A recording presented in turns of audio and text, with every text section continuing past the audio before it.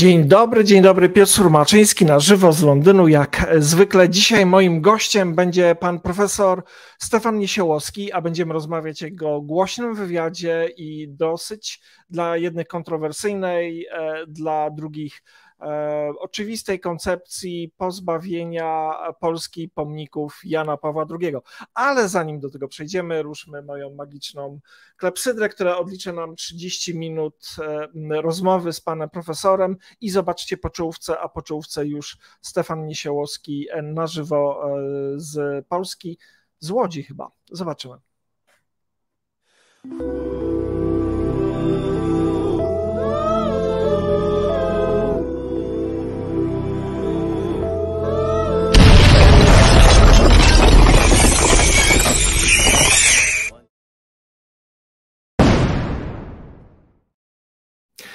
I z nami jest już profesor Stanisław e, Stefan, Stefan. Stefan Niesiołowski, entymolog, e, profesor, poseł, polityk, poseł kilku kadencji, a przede wszystkim bardzo przyzwoity człowiek, który niedawno udzielił wywiadu w którym, tak jak już mówiłem we wstępie, zaproponował ciche usunięcie pomników Jana Pawła II.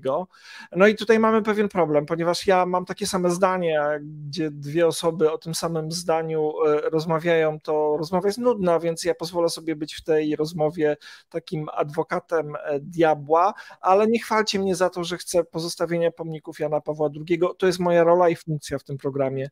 E, zaczynajmy, więc odpowiedz powiedzmy, czy to jest dobry moment teraz przed wyborami, żebyśmy poruszali taki e, drażliwy temat, że tak powiem, bo Jan Paweł jest, dla wielu jest e, ważny. To nie jest może dobry moment do usuwania samych pomników dzisiaj, że to nie jest sprawa jakaś szybka, gwałtowna. Ja ma być zrobione dyskretnie. I to jest moja wypowiedź, która nie ma związku z wyborami. W żadnym wypadku nie traktuję tego i nawet nie sądzę, żeby to było, żeby to miało być jakieś hasło kampanii wyborczej. Nie, no, to jest absolutnie, to się toczy swoim, swoim rytmem. No, różne sprawy się toczą niezależnie od wyborów. No, tak jak się e, właśnie niezależnie od wyborów dzieje, to, dzieje masakrowanie polskich lasów, polskiej przyrody przez PiS, no to akurat w tej chwili ochrona tej, tych lasów i ochrona tych, tej przyrody walki ekologów w związku ze stanowiskiem Unii Europejskiej. Nie ma związku z wyborami, tak i moje stanowisko, ono się w gruncie rzeczy sprowadza do takiej, takiego postawienia ostatecznego, ostatecznego właśnie zakończenia, jakiegoś nawiasu już nad tym, nad tym okresem y, pontyfikatu Jana Pawła II, mianowicie no, w świetle tych dokumentów, tych wypowiedzi, tych faktów, no, które już są znane, no, ten kult jest nie do utrzymania i to w największym skrócie tyle. No, te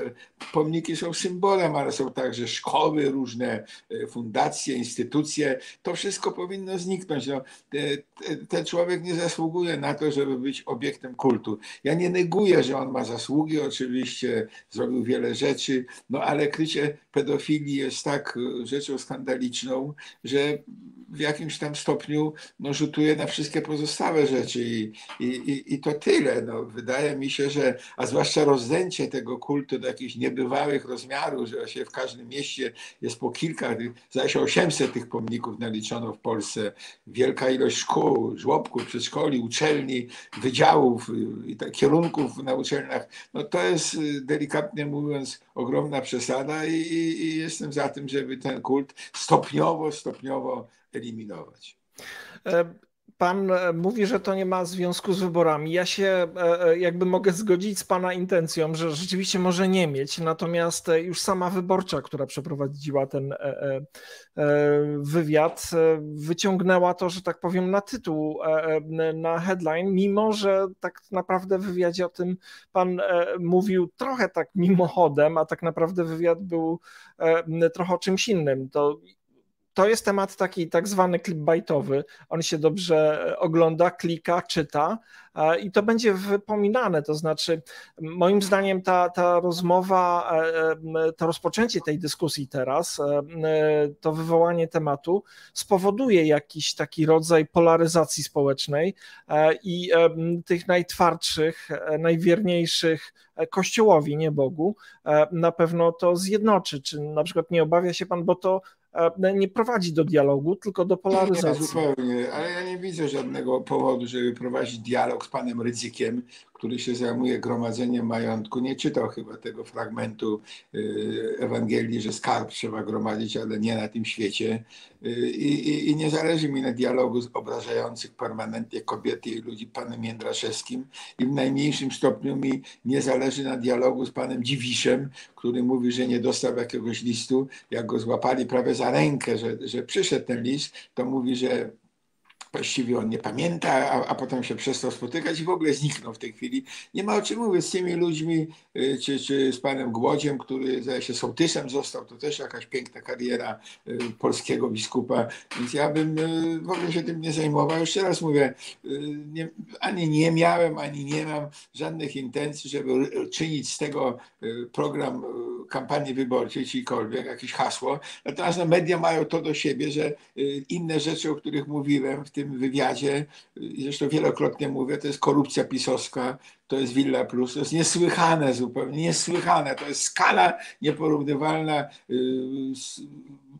używanie całego państwa, wszystkich możliwości państwa są ogromne do walki politycznej o utrzymanie władzy tej kliki, tej, tej kliki przeklętej grupy, która się okupuje na nasz, pasożytuje można powiedzieć na Polsce. I, i to było przedmiotem wywiadu. I tam rzeczywiście, tylko że to jest nowy wątek, ten wątek JP2 i to, żeby te w większości niezwykle szpetne, muszę powiedzieć, monumenty, te, te, te, te figury, żeby pousuwać, to jest, jeszcze raz mówię, nie, nie, jest moją winą, że, że, że wyborcza umieściła to w tytule, bo to jest nośne, no to jest medialnie tak. nośne, to tyle. Ale ja nie sądzę, żeby to było głównym tematem, bo nikt nie jest zainteresowany, no najmniej Kościół. Raczej będą to przemilczać, myślę, a ci najwięniejsi, te lizusy wszystkie kościelne, ci dewo, te dewotki, ci fanatycy, to oni i tak będą zapisem, więc cokolwiek się wydarzy, to oni będą bronić. To jest jakieś zaczadzenie podobne do zaczadzenia nazizmem, i komunizmem. W łagrach siedzieli ludzie, którzy mówili, że Stalin jest wspaniały i tylko nie, nie, nie wie o tym, co się dzieje. I myślę, że te, te, taką, taki mniej więcej typ prezentują ci pisowscy czy y, kościelni fanatycy. Do nich ja nie mówię, szkoda czasu. No, ja się z panem e, niestety muszę zgodzić tutaj, chociaż staram się być adwokatem tego diabła pedofilia to jest jedna rzecz, ale na przykład e, te wszystkie zgwałcone kobiety e, w, w byłej Jugosławii, w Chorwacji katoliczki zgwałcone przez Serbów, którym papież nakazał rodzić. To też jest nie jakby, nakazał, nie nakazał. No, na, no, zabronił aborcji. To jest jakby prosił, równo. Nie, no, prosił, nie, nie mógł nic zabronić. Nie, nie, nie mógł nic nakazać, nie mógł nic. On tylko prosił, no. On tylko mówił, apelował do nich. Apelował. apelował.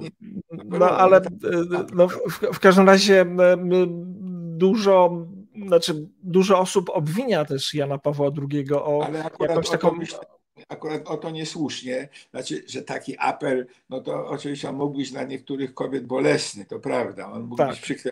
Ja bym o ten apel akurat papieża w ogóle nie obwiniał, a jeżeli już to najmniej, ten apel był nietaktowny i może, no bo, bo to w końcu nie on, nie on cierpi, takie apelowanie do kogoś, żeby ktoś inny cierpiał, ale to jest rola trochę papieża, żeby, no, żeby one wzięli pod uwagę, to e, inna rzecz była chyba w tym obszarze gorsza, to mianowicie ta jakaś szalona walka z, z antykoncepcją. No z prezerwatywą, jest, tak, tak. No nie to właśnie to, to kolejne... To jest, no, tak, to tak, jest bo, tak, tak, bo tak, bo przy okazji jakby walki z antykoncepcją a, spowodowało to jakąś erupcję AIDS w Afryce i też e, miliony no, liczyli, ile milionów ludzi tak. umarło tak. z tego powodu. Ja nie jestem specjalistą, nie chcę się, nie chcę dyskutować, ale zdaje się prezerwatywa jest rodzajem antykoncepcji, ale to nieważne. No, generalnie tak o to chodzi, że to jest no, to, to, ten coś niesłychanego zupełnie, no coś niesłychanego. No, walka z jedynym faktycznie skutecznym środkiem ochrony przed, przed tą plagą, no, no poza oczywiście samym powstrzymywaniem się od jakichś kontaktów tego typu, no ale y, wiele tych kontaktów jest nie do końca z, z dobrowolnych, zwłaszcza w Afryce, no poza tym to jest trochę inna sprawa, no, ale to, wielki, to, to, to wielka odpowiedzialność, to prawda. Natomiast jednak, jednak też w ogóle Kościół ma ja, ja nie rozumiem tego. Tutaj Jan Paweł nic nowego nie powiedział.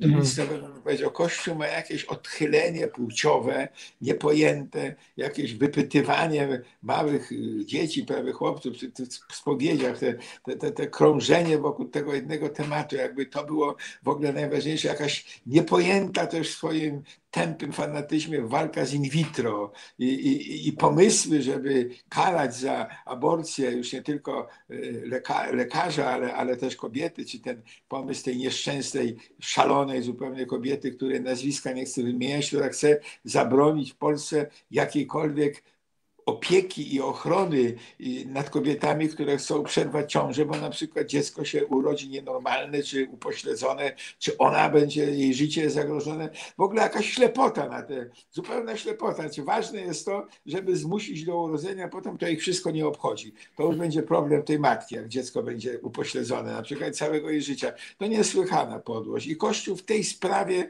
właściwie zajmuje stanowisko nikczemne, muszę powiedzieć. Całkowicie nie zwracające uwagi na cierpienia innych ludzi. Liczy się tylko to, żeby doprowadzić do porodu. No, to, jest, ma, to ma być miłość bliźniego? No przecież mm. to jest coś niesłychanego i tu niestety stanowisko papieża ono nie odbiegało, ono było taktowne, delikatne. No, nie mówię, że on tam zmuszał kogoś nakazywał, ale jednak nie, nie, nie, nie dokonał tutaj jakiejś żadnej zasadniczej zmiany w tej, w, w tej sprawie, ale mówię, no, pomniki to jest przede wszystkim ta już kryminalna właściwie, można powiedzieć, przecież ochrona zbrodniarza. Pedofilia jest jedną z największych zbrodni, jakie można popełnić. No, równa chyba, czasami może nawet gorsza od zabicia. I w tej sprawie, no niestety nie ma czystego sumienia i to jest główny powód. No, ale reszta też trochę, ale to jest główny powód, że ten człowiek nie powinien być no, świętym. No, zresztą to, ja nie wiem, czy jest to możliwe, nie wiem, jak te przepisy w Kościele, ale chyba były pomyłki w historii Kościoła w tym względzie. I, i, no, i tak... Ja znam co najmniej jedną. To jest Jan tak. Paweł II. No tak, ale były wcześniej. Wcześniej. Ja, ja, tylko chcę powiedzieć, że no, mamy pewną tradycję w obalaniu pewnych mitów i kultu jednostki w Polsce. Dosyć skutecznie udało nam się pozbyć tych pomników e, komunistycznych. Nie ma już nigdzie Leninów. Pozostały tylko gdzie niegdzie cmentarze żołnierzy e, radzieckich, ale to też jakby z bardzo dużym oporem. Ja kiedyś nawet zastanawiałem się, e, czy to jest fair, żeby te cmentarze, ale e, wie pan, jestem takie pokolenie powojenne już. E, jak patrzę na to, co się dzieje na Ukrainie, to myślę, że absolutnie. Jeżeli chcą, żeby te cmentarze pozostały, niech sobie ich ekshumują i, i zawiozą tam do siebie na Kreml, gdziekolwiek. I, bo, bo to jest taka, taki, moim zdaniem, też taka przemoc symboliczna, tak? Budowanie takiego no, mitu. No, no tak, ale ci żołnierze są najmniej winni, a to jest bardzo delikatna sprawa. Co jest Wie pan co, ja też tak myślałem, ale czy ci żołnierze w Buczy, którzy najpierw zgwałcili, a później ukradli lodówkę, to są mało winni? Tak, ten, słyszeliśmy no nie, nie, no, te, te żołnierz, to prawda, ale żołnierze w Polsce, żołnierze mówię na ziemiach polskich, bo dopuszczali się gwałtów i zbrodni w Niemczech, no ale Niemcy tak. delikatnie mówiąc też nie byli dżentelmenami, jeżeli to prawda tereny Związku Radzieckiego, ale żołnierze sowieccy w Polsce bardzo często to byli ludzie, którzy naprawdę w niczym, w niewielkim stopniu zawinili i te, na pomnikach bym się, bym się nie myślał, w każdym razie sprawę traktował niezwykle delikatnie. To nie można wszystkich rzeczy mieszać ze sobą. No, to są różne zupełnie porządki. Natomiast tutaj mówimy o konkretnym, jednym, jasnym przykładzie i konkretnym przykładzie, no, krycie pedofilii. No. W tym, w tym, zwłaszcza, że w tej dziedzinie nie wiem dlaczego y, nic nie robią właśnie dygnitarze kościelni, ci wszyscy hierarchowie, ten obwieszony złotem Jędraszewski, ten ryzyk tak gruby, że nie może głową nawet ruszać, on zupełnie tak jak, jak, jak panda, ten, ten, ten, na tym, ten, na tym ten głowę ma tej wielkiej szyi, on nie może z tej, z tej, z tej otyłości, ten głód, który też już chyba, no, trudno powiedzieć, też ma kłopoty z poruszaniem się powodu otyłości czy dziwisz i te, te, te, te, te, te wszystkie grubasy obwieszone złotem, oni, oni w ogóle nic nie robią, no, nie reagują, przeczekać. No, to była taktyka Kościoła, właściwie w wielu sprawach skuteczna, w wielu nie. W tej sprawie ona skuteczna nie będzie. No, przeczekiwanie no, no. powinni odpowiadać, odpowiadać. No, być może da się wybronić, wykazać, że papież nie krył pedofilii, no ale jak się widziało zdjęcie, kiedy on głaskał po głowie Degolado, zbrodniarza, który gwałcił własne dzieci, pedofila zbrodniarza i który tam no, no, w kościele był właściwie noszony na rękach, dlatego że miał ogromne pieniądze, które przywoził do Watykanu, to jest coś tak obrzydliwego, no, że tego się moim zdaniem obronić nie da. A, a skoro się obronić nie da, to znaczy, że Kościół po prostu nie, nie, nie, nie może. No, liczy na przeczekanie, że ludzie się zajmą czym Nie, nie zajmą się. Papież ma obrońców i to są bardzo często zacni, porządni ludzie, którzy mówią tak, ale zrobił dużo dobrego. No zgoda, no więc jeżeli chcą mieć te pomniki, to niech sobie mają. Ja powiedziałem to, co miałem do powiedzenia, nie będę stał na czele żadnej krucjaty przeciwko tym pomnikom. Uważam, że znajdzie się wystarczająco wielu ludzi, którzy po prostu w pewnym momencie powiedział dość tego i, i zaczną w dyskretny sposób te, te pomniki powiedzmy przenosić w miejsce, nazwijmy to generalnie mniej honorowe. No tak, bo o ile z przestrzeni publicznej sobie wyobrażam dosyć prosto to pójdzie, a, to jak e, będzie to wyglądało na terenach kościelnych, e, bo jakby kościół może sobie stawiać jakie chce pomniki. E, no, tak, stać, no niech się stoją. No. Puste kościoły, no tak jak w Irlandii, puste kościoły, puste seminaria i, i no wtedy tego złota też będzie mniej, bo na tych hierarchach nie będzie nikomu zależeć, bo jak nikt ich nie będzie słuchał, to i PiS ich nie będzie popierał, jeżeli PiS tam przetrwa do tego momentu, ale no, upadek kościoła pociągnie te pomniki same w końcu tam y, zaczną być krępujące i być wynoszone. Jeszcze przy okazji jest problem trochę inny, to jest pomnik tych pisowskich wszystkich dygnitarzy. Mm. Jeżeli w każdym każdym e, mieście centralny plac będzie, będzie się nazywał e, na, na, na cześć tego prezydenta, co zginął i tak dalej. I, i dygnitarze pisowscy będą mieli, jak pan Szyszko też już ma, pan, pan, proszę pamiętać o tym, że już pan minister Szyszko ma pomniki, to, to, to te pomniki przede wszystkim tych pisowskich dygnitarzy już i, i to bym porównywał trochę do dekomunizacji, no, to znaczy tak. takie oczyszczenie Polski z fałszywych bohaterów, z, z kłamstwa. No, de, komunizm to było kłamstwo. No, stawianie w Polsce pomników y, ludzi, którzy Polsce szkodzili, to, to, to, to była jedna ze zbrodni komunistycznych i dzisiaj taką zbrodnię popełnia PiS. Fałszuje historię, nazywa ulice, place, szkoły, miejsca y, i nazwiskami ludzi, którzy delikatnie mówiąc żadnego y, wielkiego wpływu pozytywnego, a w każdym razie nie taki, żeby, żeby, żeby takim kult tworzyć wokół ich osób. I te, y, te, to powinno być też, i to myślę szybko będzie zlikwidowane, podobnie jak jakiś rosnący, rozdymany przez Mateusza, jego syna, no to bardzo ładnie, że on robi ze swojego ojca bohatera. To nieprawda. Solidarność walcząca walczyła z Wałęsą, była organizacją podejrzaną przez swoją prorosyjskość, nie miała nie, przez, swoje, przez swoją, no taką można powiedzieć, wojenną trochę, właśnie nie wiadomo co chcieli, powstanie wywołać, a, a z drugiej strony byli prorosyjscy. I to y, i, i robienie z tej organizacji no właściwie główną siłę y, podziemia czy opozycji w Polsce solidarnościowej jest obrzydliwe i, i, i Morawiecki za tym stoi. No rozumiem, że y, syn broni, czy, czy, ładnie chce o ojcu mówić, ale ma tyle działek, tyle willi, tyle rezydencji, jak sobie tam w każdej postawi pomnik Kornela Morawieckiego i każdą aleję, która prowadzi przez krzaki tam do jego willi i koło basenu, niech nazwie aleją Kornela Morawieckiego, ale, że tak powiem, częstować Polskę tym historycznym mitem jest, jest nieuczciwe i to myślę będzie chyba pierwszy, który runie, to będzie ten bo to już jest nie do zniesienia, no, że, że na jakaś aula we Wrocławiu ma być jakiś Kornel Morawiecki się okazuje właściwie jest muzeum w Warszawie, kiedyś było ruchu oporu całego, a teraz w dużym stopniu jest na Rakowieckiej, w tej katowni ubeckiej, teraz w dużym stopniu to, to muzeum zajmuje Solidarność Walcząca, czyli pan Kornel Morawiecki i, i tak dalej. No, to są takie zwyrodnienia tego reżimu, które myślę pierwsze powinny być usunięte. To jest łatwiejsze oczywiście. Jan Paweł II i likwidacja tego kultu będzie dłużej trwała, ale ostateczny cel może być taki sam. Prawda was wyzwoli. No tak, tak. E, no i oczywiście zmienimy oblicze tej ziemi, także po wyborach, miejmy nadzieję, e, e, szybko.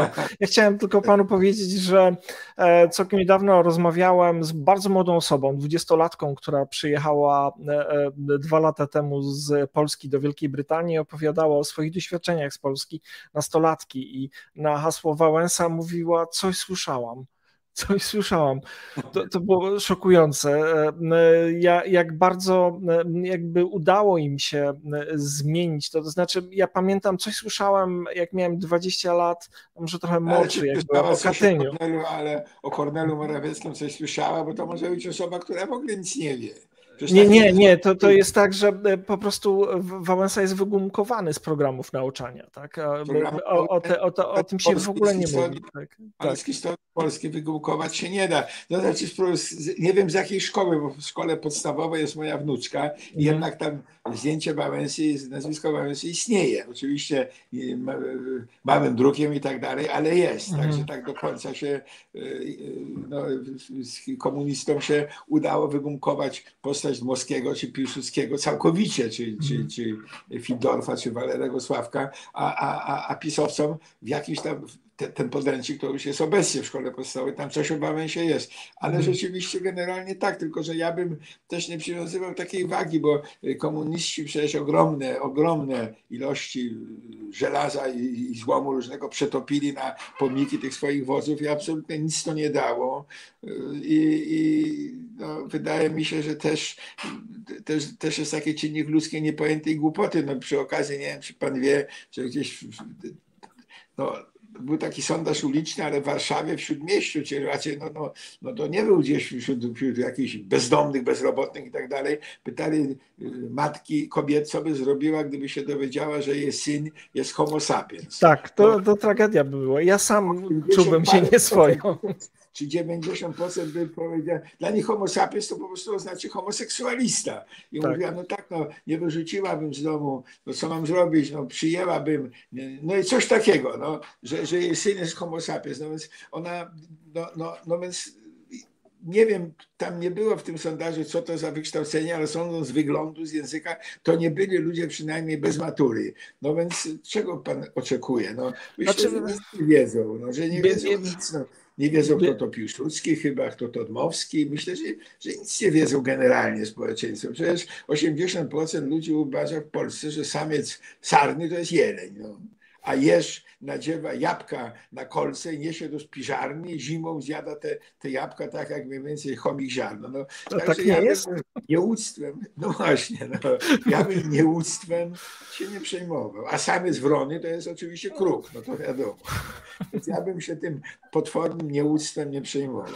Znaczy, e, to jest. Ja, ja mogę tylko powiedzieć, że e, mnie bardzo boli, jak e, tutaj patrzę na swoje dzieci, polskie dzieci, które oczywiście wiedzą, kto to jest Wałęsa, bo 13-letniej e, córce puściliśmy świetny film Wajdy i długo rozmawialiśmy na ten temat i ona się interesuje i wypytuje. No właśnie, są takie domy, więc nie tak. wszystko stracone.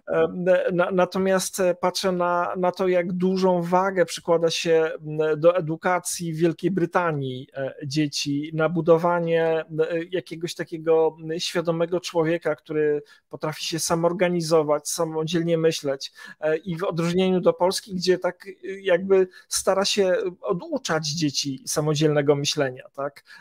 Już sam ten no, cytat z książki do religii. No to jest scena no, za, za rządy PiSu, to jest dyktatura, która żeruje na głupocie, na nieuctwie i stara się ogłupić ludzi, no, wyprać mózgi, przez media publiczne piorą bezustannie mózgi, no i to do tego chcą to sprowadzić, więc chwała takim domom, domom, gdzie się puszcza film Wajdy, gdzie się mówi o Wałęsie. Myślę, że takich domów jest wystarczająco dużo, tak. że jak upadnie, to całą tą parszywą y, warstwę tego kłamstwa i, i, i oszczerstw, nieuczciwości no, się zmyje, tak sądzę, wierzę w to.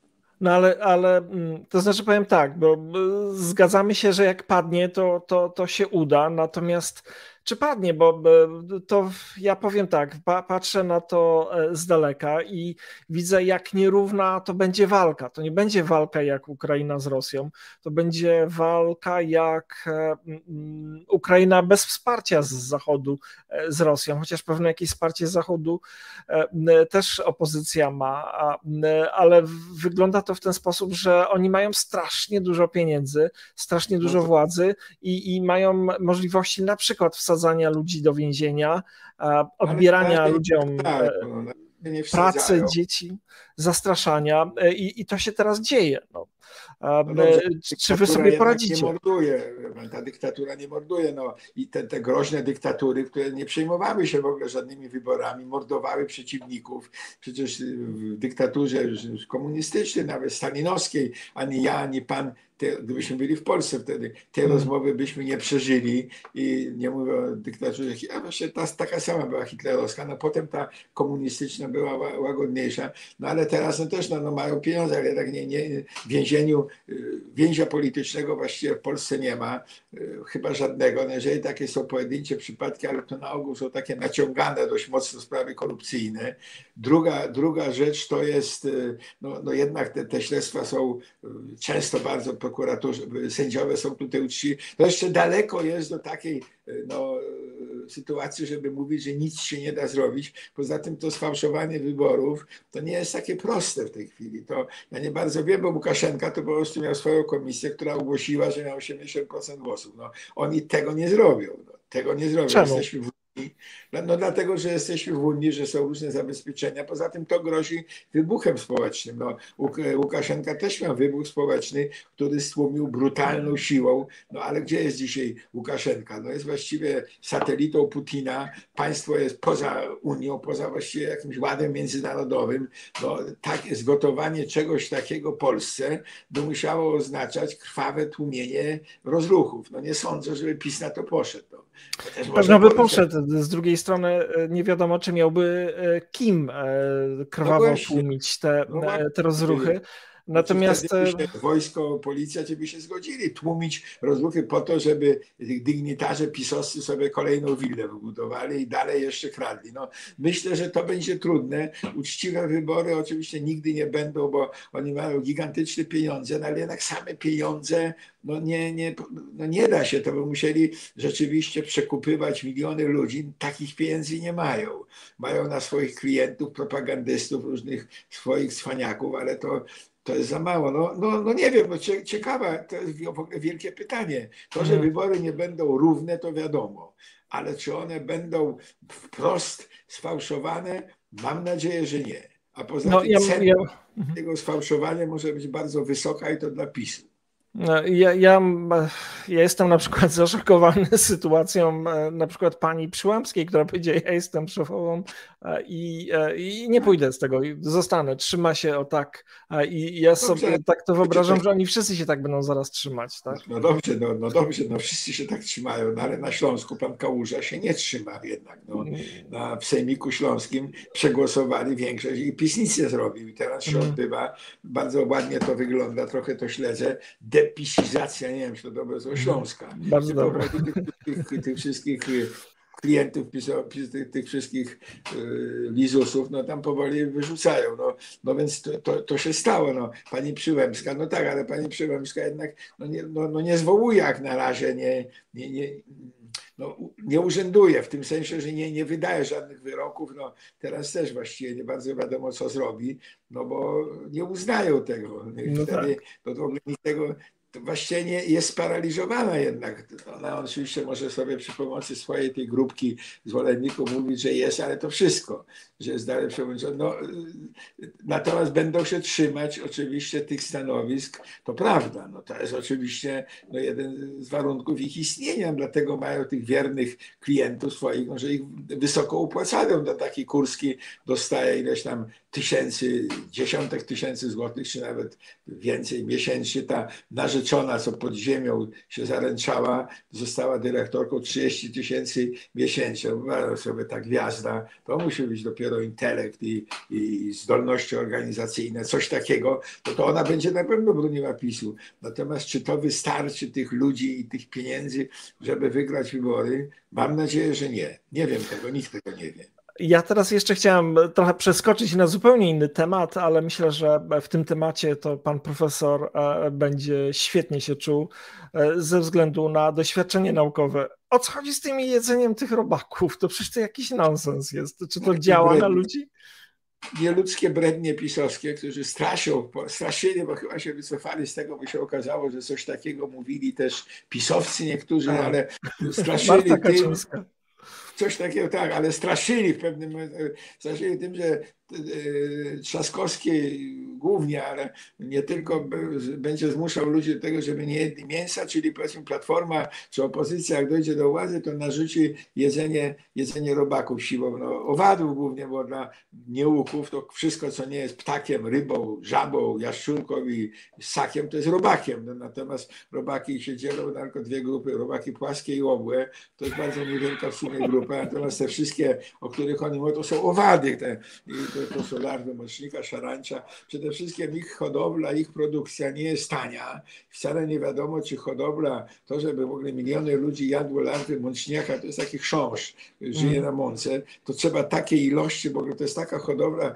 kłopotliwa, że nawet na pewno droższa niż, niż kurczaków, czy, czy, czy jedzenie szarańczy, jakby to miało wyglądać. No jedzą w Afryce oczywiście, jak są to ogromne y, plagi szarańcze, ale one same się lęgną, że nikt ich nie hoduje. Natomiast hodowanie tego to w ogóle absurd zupełnie. No, to, to jakieś, I poza tym w ogóle po co to miałby wprowadzać y, Trzaskowski? W jakim celu? No, finansowo to się nie opłaca. Jak ludzi zmusić? No miałby jakąś niesłychane. No, ja nie wiem, czy kto to w ogóle wymyślił. To, to jakiś, jakiś wyjątkowy dureń, y, że, żeby y, robić politykę wokół tego, że przeciwnik polityczny zmusi społeczeństwo do jedzenia robaków, a nie, a nie mięsa. No, muszę powiedzieć, że to zupełnie idiotyzm, y, a, a, a poza tym ekonomicznie to się po prostu nie opłaca. Znaczy, ja tylko mogę, wychodząc z Biblii, gdzie jest napisane ze Starego Testamentu oko za oko, ząb za ząb, e, skoro robaki nas jedzą, co jest faktem po śmierci, to czemu my nie możemy mieć robaków? To byłoby... Dlatego, że po śmierci nas jedzą larwy, chrząszczy, stafilinidę, omarlicowatych i muchubek, kaliforidę czy, czy mustidę a my nie jemy, nie ma, czy mamy muchy, czyli musielibyśmy wyskładać jakieś tony mięsa, tam by mhm. przylatowały muchy przy, i, i, albo z ubikacji, przesiewać ten kał w ubikacji i z tego brać muchy, bo między takie nas jedzą po śmierci na tej zasadzie, także tu Biblia jednak nie pasuje do tego. No. To jest gigantyczne pokłady nieuctwa, to jedzą to nas prawda. robaki, nie robaki, tylko larwy, głównie muchówek, ale także chrząszczy pewnych innych owadów, ale owadów przede wszystkim, Mówię, proponuję zostawić robaki w pokoju. Jak się ktoś nie to zna, prawda. Nie, nie, nie, powinien wypowiadać.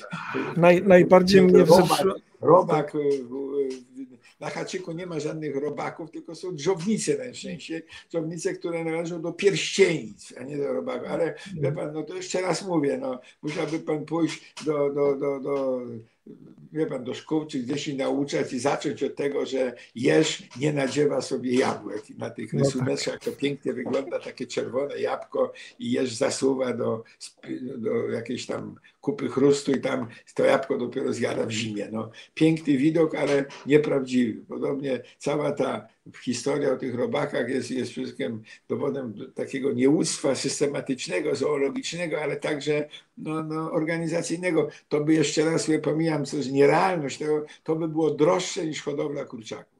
No, ja, ja, mogę tylko powiedzieć, że ja z kolei miałem taką e, sytuację e, na imprezie w pracy, gdzie zaproszono e, kucharza z Zimbabwe i rzeczywiście podawali chrząszcze Nie spróbowałem, ale, ale były i to rzeczywiście było bardzo drogie i bardzo wykwintne i ekskluzywne i, i jakby potwierdzam to. Nie pamięta pan, ale jakie to były książki? Polskie jakieś? E, nie, nie, nie, zdecydowanie to w Londynie było i to był afrykański Aha. kucharz i e, e, to była jakaś specjalność, taka zakąska, taki zakąska afrykańska. To, one mogą być stawne specjalnie, bo, mm. bo przepraszam, ale jakieś 80% ciała owadów to po, po tym, jak się wygotuje, wysmaży, to, to zostaje chityna, czyli, czyli mm. właściwie nietrawione w dużym stopniu, no. czyli nie trawione przez człowieka, czy to może, może być nawet szkodliwe. No,